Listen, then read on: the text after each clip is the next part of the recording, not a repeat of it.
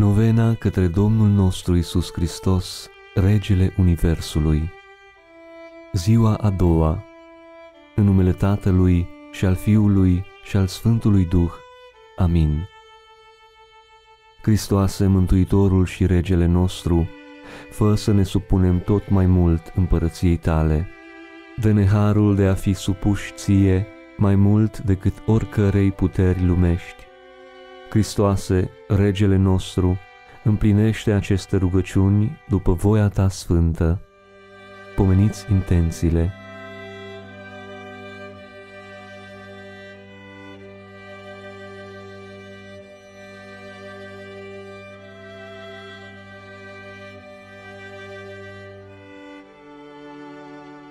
Meditând la a doua ta venire în slavă și la judecata lumii întregi, te rugăm să ne învrednicești cu îndurarea Ta și să ne dăruiești harul de a deveni sfinți.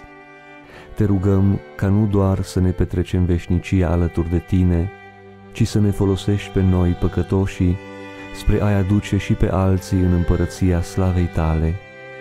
Hristoase Rege, vie împărăția Ta. Amin.